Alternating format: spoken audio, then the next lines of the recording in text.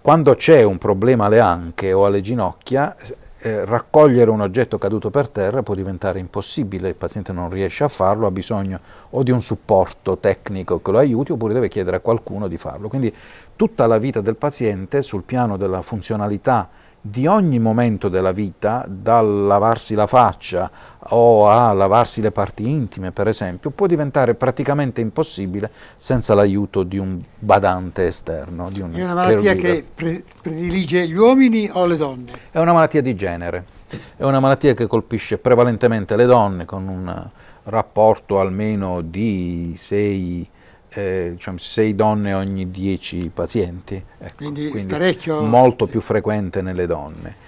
Probabilmente perché le donne hanno proprio per natura diciamo, un sistema immunitario un po' più come dire, lasco, ecco, che consente sì. l'emergenza di fenomeni autoimmuni, cosa che nel maschio accade con più difficoltà questa cosa tradizionalmente viene attribuita al fatto che la donna deve, eh, deve, avere, deve accogliere diciamo, un essere esterno e quindi non deve avere un sistema immunitario troppo rigido perché sennò finirebbe per respingerlo. Diciamo, è una visione un po' come dire, teleologica del, della cosa, però ha il suo senso. Ecco. Nelle donne in effetti c'è questa maggior tendenza alle anomalie del, della risposta immune che in soggetti predisposti può portare ad una malattia proprio e le mani con quelle articolazioni infiammate, dolenti, eh, sono idonee alla guida di auto? Mm, possono essere idonee alla guida anche se eh, dipende dal grado di impegno. Ecco. Se le, le eh, articolazioni delle mani sono completamente distrutte eh, non possono guidare perché non riescono più a gestire proprio le, eh, le piccole articolazioni delle dita. Se invece eh, l'impegno è parziale loro possono guidare ma hanno bisogno di guidare degli automezzi modificati eh, che abbiano un acceleratore al volante, che abbiano eh, il servofreno col cambio automatico, c'è una serie di, eh, di, di, dire, di, prescrizioni che devono essere rispettate per concedere la, a, eh, la, patente a pazienti che abbiano una malattia in stato avanzato. Negli stati iniziali, non, eh, una volta trattato e eliminato il, il dolore e infiammazione, i pazienti possono guidare anche un'auto normale. E l'idoneità al lavoro anche sotto il, sotto il profilo dell'infortunio sul lavoro? L'idoneità al lavoro è fortemente compromessa, devo dire. Io ricordo di aver ascoltato la narrazione delle, eh, della sua malattia di una paziente, era un'impiegata delle poste, che diceva che lei eh, al mattino si alzava e fra mille difficoltà si sistemava per la giornata, prendeva la sua pillola di cortisone che gli dava 3-4 ore di tranquillità. Allora lei quando arrivava nell'ufficio predisponeva sulla scrivania tutti gli oggetti, la penna, le pratiche, la matita, il tagliacarte, tutti in un raggio eh, che era raggiungibile col solo movimento dell'avambraccio, perché sapeva che una volta terminato l'effetto del cortisone non, non si sarebbe mai potuta più alzare per prendere un oggetto più distante. Questo significa che le modalità comportamentali di questi pazienti sono profondamente modificate e l'attitudine al lavoro in questa donna che voleva lavorare, diciamo, erano mantenute a costo di questo sforzo organizzativo, ma spesso sono compromesse gravemente. E eh, diciamo, dopo dieci anni di malattia quasi l'80% dei pazienti non curati finisce per lasciare il lavoro, non ce la fanno a sostenere l'impegno, magari banale, anche semplicemente di andare a lavorare, può essere un impegno, cioè salire su un autobus una persona con un'artrite d'anca non è possibile. L'esercizio fisico lo consigliate eh, ed è possibile oppure no? Noi un esercizio fisico eh, lo consigliamo purché sia eh, fatto su un terreno diciamo non irregolare, quindi niente footing sulla sabbia, niente eh, passeggiate eh, nei campi, ma passeggiate tranquille in città e come attività sportiva in genere noi consigliamo il nuoto, che è un'attività che eh, con l'effetto antigravitario dell'acqua consente di fare un buon movimento senza sollecitare troppo le articolazioni che eh, supportano il peso del corpo. Quindi niente corsa, niente calcio, niente tennis, questo purtroppo quando c'è un impegno infiammatorio non si può Ci sono implicazioni concedere. dal punto di vista sessuale?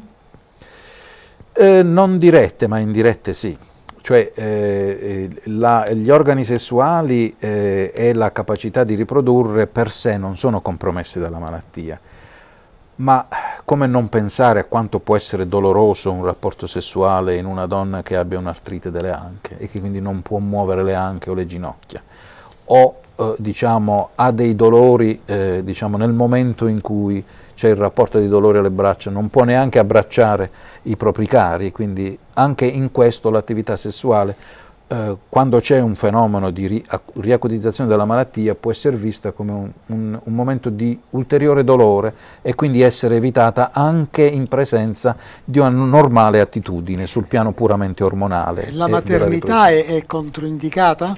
Non è controindicata, la maternità... Eh, Ma è possibile? È possibile, certo, anche qui eh, in una donna che non abbia un gravissimo impegno articolare si può concedere la gravidanza. Gli ormoni della gravidanza sono protettivi, quindi l'artrite durante i nove mesi della gravidanza tende a ridursi come intensità, lascia un po' tranquilla la paziente, però una volta partorita, una volta avvenuto il parto, quando cadono gli ormoni, la malattia ricomincia inesorabile e questo può comportare per esempio l'impossibilità di allattare perché alcuni farmaci sono, eh, passano nel latte e quindi possono determinare problemi al, eh, al, al, bimbo e alcuni farmaci non si possono prendere durante la gravidanza. Uno per tutti, il metotrexate, che è un farmaco che si usa moltissimo nel trattamento delle artriti, è un farmaco, si dice, teratogeno, cioè che può determinare delle malformazioni fetali.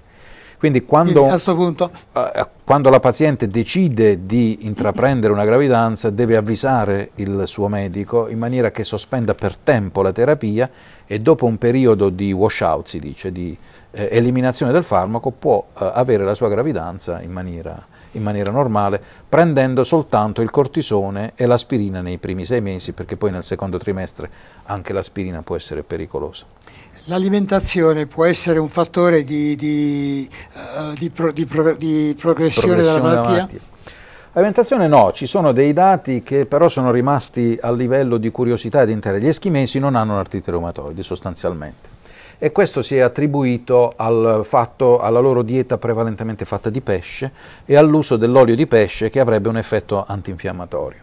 Quindi un'alimentazione di questo tipo potrebbe eh, dire, eh, ridurre l'attività dell'artrite reumatoide. Nei fatti però eh, un'alimentazione di solo pesce oppure l'uso di olio di pesce a scopo terapeutico si è rivelato fallimentare. Quindi eh, ci sono delle suggestioni in questo senso, ma una prova che la dieta possa influire in maniera seria e provata nel decorso di questa malattia non ce l'abbiamo.